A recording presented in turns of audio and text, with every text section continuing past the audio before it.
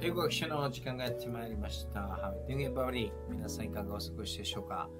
最新のニュースを使いながら、英語を学びながら、そして情報力どんどん上げていきましょう。NHK ワールドニュース。真面目で謙虚な日本人はもう過去の話になってしまったのか、去年の暮れはダイハツ工業、そして IHI、日本の大手ですけれども、また嘘つき、改ざん、一体何をしているんだろう。こんな状況で若者、中堅に頑張れって言ったって誰がついていくのかと思ってしまいますけれども、このニュースを使いながら、英語力と情報力、一体何が起こってしまったのか、情報力を上げていきましょう。まずはじめに字幕ありで、英語字幕ありでニュースの概要、アウトライン捉えていきたいと思います。次に NHK ワールドキャスターの上手な英語をしっかりと参考にしながら私たちも英語を話して日本人が一番苦手と言われているスピーキング力をアップしながら難しい単語表現しっかりと覚えていきましょう。そしてニュースの内容は Google 自動翻訳を使って日本語訳参考にしながら見ていきたいと思います。3番目は字幕なし。英語のリスニングと NHK ワールドニュースの映像とともにしっかりと学習した単語表現ニュースの内容捉えられるかどうか見ていきましょう。英研究家チャンネル英語学習に使えるな、情報も取れるなと思ったらチャンネル登録、高評価よろしくお願いします。それでは学習始めていきたいと思いますけれども、右上にあるこの 5W1H 意識しながら見ていきましょう。when, it's, where どこで、who 誰が、what 何を、why なぜ、how どのようにということですね。この辺をしっかり聞き取れるように集中していけば集中力も高まって英語のリスニング力もリスニング力も上がっていくと思います。それでは行ってみましょう。Let's get it started. それでは左側の NHK ワールドニュース、右側の原稿、英語原稿ありで見ていきましょう。原稿読まれているところ、このようにカーソルを合わせていきますので、必要な方は参考にしてみてください。言語がなくても聞き取れそうだ、聞き取り挑戦してみようという方は、右側の原稿は無視していただいて、左の NHK ワールドニュースだけ集中してみていただき見ていきましょう。それでは、Let's try to understand the outline of this NHK World News with English subtitles. Let's try it. Japanese engineering giant IHI has admitted that one of its subsidiaries falsified fuel consumption numbers for its engines. Directors of the group apologized for the problem. IHI Power Systems was found to have inflated fuel efficiency in a report for buyers, the doctored figures were for trial runs of engines for ships, trains, other and other products. Uh, more than 4,300 units had fabricated data. That's out of about 5,500 total produced from 2003 onwards. The units were shipped to domestic and overseas markets. IHI says that more than 2,000 of the engines failed to clear levels agreed upon in business contracts. The officials say an employee of the subsidiary reported the issue in February. They say that there are no safety concerns with the engines. The government has launched an investigation. The Transport Ministry has called on IHI Power Systems to report on the details. さあ、字幕ありで見てみました。なんだか悲しく、日本人として悲しくなりますけれども、もうものづくり大国、信頼性、信頼できる日本人の時代はもう終わったのかと思うほど、 去年の暮れから、まあ、ダイハツの、ダイハツ工業の事件もありましたし、この IHI もですね、結局、船なんかに使われるエンジンの性能を改ざんしていたということで、もう日本のトップ、そして日本の高齢者、高齢者って言ったらおかしいですけど、上の方は嘘つきばっかりっていうことでしょうか。そんなことで、日本の若者、未来に希望が持てるかって言ったら本当に終わってると思いますけれども、このニュース、残念ながら出てしまいましたので、これを使って今何が日本で起こったのか、そして英語力もしっかりと上げていきましょう。では、えー、次はですね、しっかりと今聞いた NHK ワールドキャスター、NHK ワールドニュースキャスターの英語を思い出しながら、しっかりと字幕を音読して、英語を声に出して、英語を話す練習をしながら、難しい単語表現、しっかりと覚えながら単語力、表現力、語彙力上げていきましょう。そして、Google 自動翻訳の日本語訳も参考にしながらですね、パーフェクトではないですけども、参考にしながら見ていきたいと思います。では、左側に英語、右側に日本語訳がありますので、まずは左側の英語を音読しながら英語を話すことになるので、スピーキング力アップしながら内容を見ていきましょう。それではこの左側のこの部分ですね、一緒に視聴者の方、声が出せる方は音読していきましょう。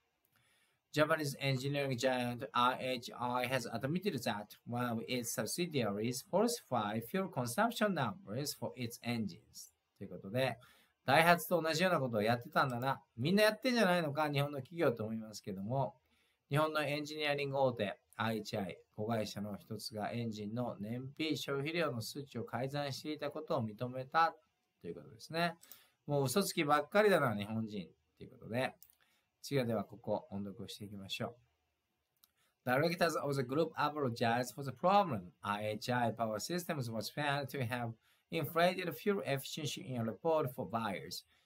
The doctorate figures were for trial runs of engines for ships, trains, and other products ということで、グループの理事長らはこの問題について謝罪をしたと。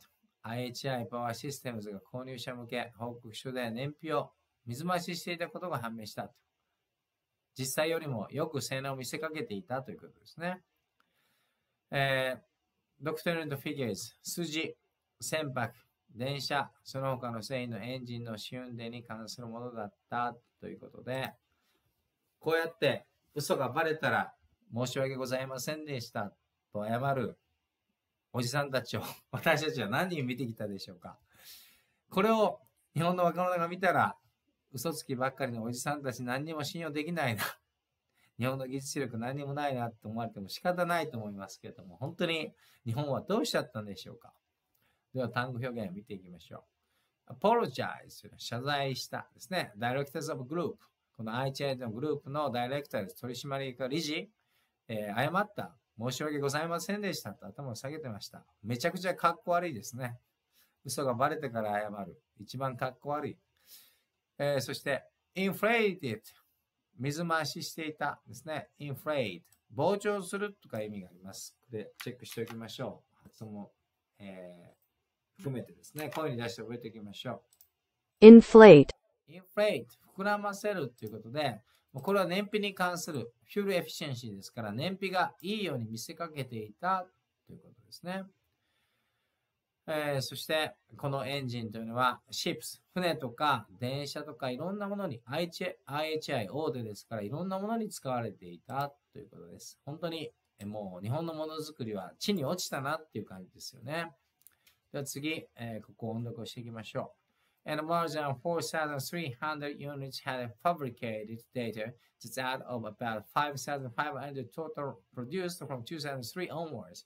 Units were shipped to domestic and overseas markets ということで、2003年以降に生産された合計約5500台のうち、なんと4300台以上にデータが改ざんされており、これらのユニットは国内だけではなくて海外にも出荷されていたということで、燃費がいいから買った IHI のエンジン、実は燃費、そのよく見せかけられていた燃費は改ざんされていたっていうとんでもない事実が発覚した。本当に日本の信頼、世界に対する日本の信頼、ものづくりの信頼性、本当に地に落ちるところまで来たなと思いますね。では、ここ、えー、単語表現見ていきましょう。fabricate というのはですね、改ざんする、偽造するというですね、チェックしておきましょう。発音を含めて。fabricate。fabricate 捏造する、偽造するですね。声に出して覚えておきましょう。fabricate。fabricate。fabricate ですね。えー、そして、shipped to domestic。国内 and overseas。海外のマーケットに嘘の、えー、データをつけて、いろいろ売られていた。それが2003年から始まっていたということで、今2024年ですから、もう20年ぐらい嘘ついて、突き通していたということですね。本当に IHI の経営陣何考えてんだと思いますけれども。で次、えー、ここを音読していきましょう。IHI says that more than 2,000 of the engines failed to clear levels agreed upon in business contracts. The officials say an employee of subsidiary reported this issue in February. ということで、IHI によると、2000機以上のエンジンが業務契約で合意したレベルをクリアできなかったというクリアできてないのに、その試験データを改ざんして、できたように見せかけて売るというとんでもない、本当に嘘つきばっかり。関係者によると、子会社の従業員が2月にこの問題を報告した。まあ、内部告発ですね。内部告発されたということです。本当に経営陣は知ってたんじゃないかなと思いますよね。本当に売り上げが上がればいいだろう、バレないだろうと思っていた。そしてバレたら最後に申し訳ありませんでしたと謝る、ダサさ、かっこ悪さ。本当に日本人どうなってるんでしょうか。えー、では、ここを単語表現見ていきましょう。fail to というのは失敗したですね。clear levels。その契約のレベルクリアするのを失敗したけれども、試験データを改ざんしていた。subsidiary というのは子会社ですね。子会社が2月にこの問題を上に上げていたということです。それでは最後ここを音読していきましょう。They said that they had no safety concerns with the engines. The government has launched an investigation. The Transport Ministry has called on IHI Power Systems to report on the details. ということで、エンジンの性能には安全上の懸念はないというけれども、燃費がいいと思って買ったのに燃費悪かったら本当に詐欺ですよね。騙されたっていう感じで、海外からも IHI 訴えられるんではないでしょうか。政府は調査を開始した運輸省 IHI のパワーシステムズに詳細な報告を求めたということです。さあ、ここは難しい問題ないですけども、本当に日本人の中、えー、中堅ですね。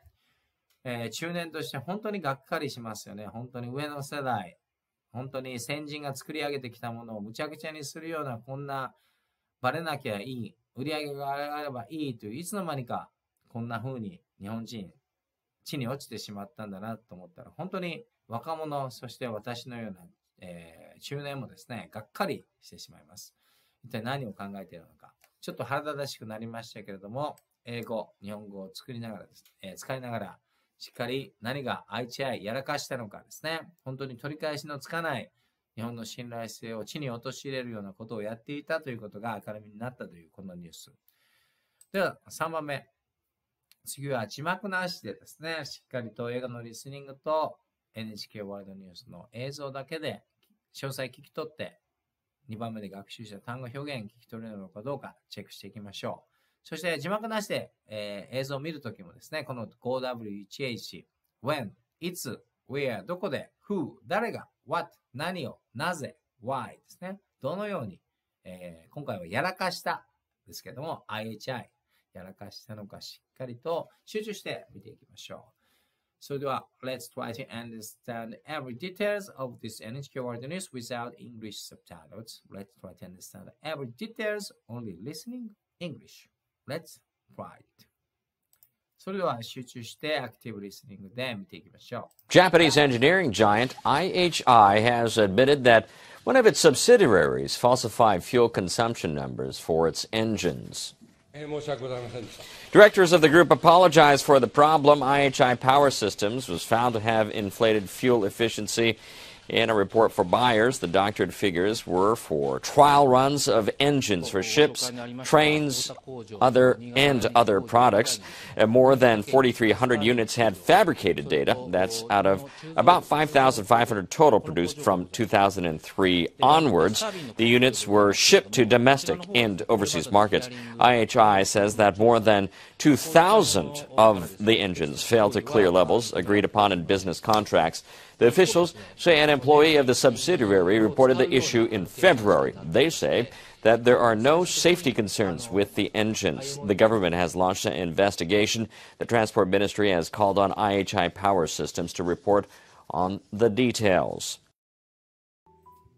さあ、いかがだったでしょうか。ため息が出てしまうような残念なニュースでしたけれども、日本の大手エンジニアリング会社 IHI、えー、嘘、2003年から20年以上にと えー、渡ってつき続けていた、えー、エンジンの性能、えー、エネルギーですね、えー、燃費改ざんをずっと20年にわたってしていたということ。そしてそれが見つかったら申し訳ありません、ありませんでしたということで謝っていましたけれども、字幕なし、学習した単語表現、そしてニュースの詳細の意味、聞き取れましたでしょうか。さあ、視聴者の皆さんはどんな単語、表現と新しく出会い、そしてどんな情報を得て、どんなことを感じましたでしょうか？本当に日本のものづくり、日本の信頼性、日本人に対する信頼、本当に地に落ちるようなこんなことがですね、去年の年末、えー、車のダイハツ工業でもありましたし、改ざん、嘘つき、えー、嘘をついて儲かればいい、バレないだろうというこの精神ですね、本当に日本人として培ってきた精神誠意対応する日本人の良さっていうのがどんどんどんどん失われている気がしてなりません。えー、皆さんは、視聴者の皆さんはどんなことを感じましたでしょうか？そしてどんな新しい単語表現と出会いましたでしょうか？こんな感じで英検1級ベチチャンネル英語を学びながら最新ニュースでしっかりと情報力アップできるそんな動画上げていきますのでいいなと思ったらチャンネル登録、高評価。よろしくお願いいたします。一緒に英語力、情報力どんどん上げていきましょう。Thank you very much for watching my video till the end.